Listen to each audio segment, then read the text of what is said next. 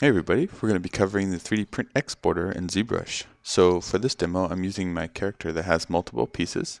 You can see that he has uh, two horns that have been um, keyed into his head here. And then there's also a starting point for a base. So we got four parts. And the goal of this tutorial is to set up a ZBrush scene where whenever you export your model, if you make any model changes, um, you can always update these pieces individually um, in your STL file and not have to worry about uh, the scale being wrong um, uh, for every time you if you 3D print. Like if you broke off this horn on your actual 3D print, you could 3D print another one and you're confident that the scale is going to be the same. So ZBrush currently does not have um, uh, a way to remember your ZBrush uh, 3D print exporting settings. So the best you can do is one, write it down um, at this moment. Uh, but there's another little trick that I found that's been pretty helpful for me doing um, characters, uh, especially ones made up of multiple pieces and ones that I come back to. So uh, what I like to do is append a cube and move it into place. And essentially I want to scale this cube to be exactly the size of this character. So essentially I'm making myself a bounding box. So let's go that way. And I'm using actually the translate based on this edge here instead of the scale. So you can actually turn on transparency and do this and do that side.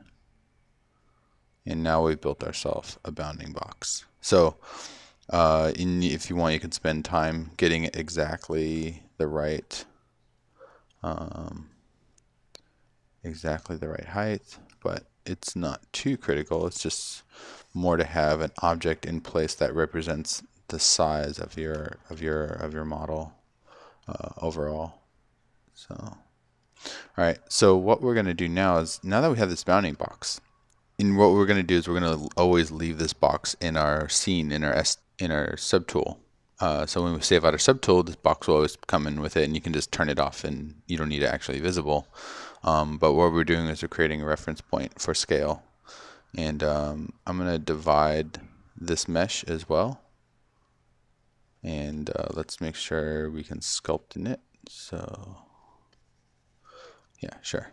So what we can do is you can write on this mesh, we could say like, let's say 4.5 inches. That's our, that's our scale that we want to always export out this character.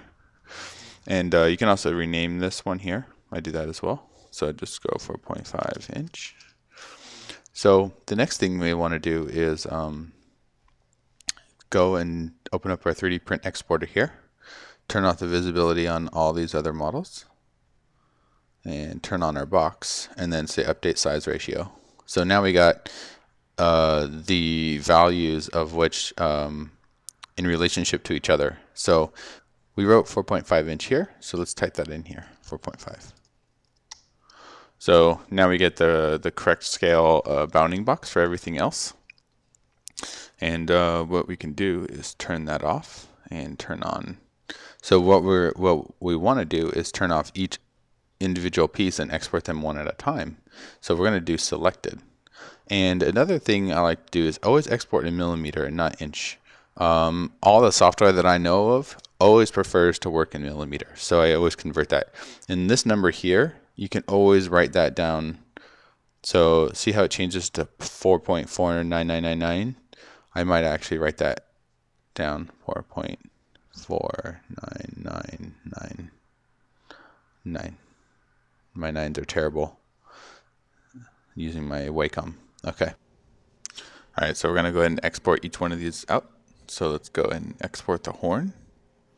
And we'll go, that's the um, his left horn. And we'll go and export the right horn. The only reason why I'm exporting out these individually is because I might have to print them separately or at different times. So instead of exporting out one giant uh, STL, which also has a file size limit, software doesn't like to work with file sizes bigger than 150 megabytes. So um, you can get more resolution and you have to decimate your model less if you have separate STLs. So uh, base. All right, that's it. So I got those exported.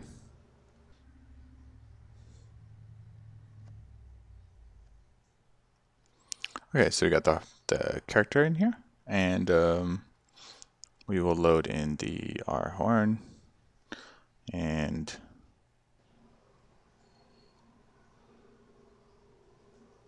all right, so we got these exported at the right scale, and uh, you can see that um, um, we can rotate these around, and they fit more or less what they would be into. Um, uh, let's see, that goes to that side, so.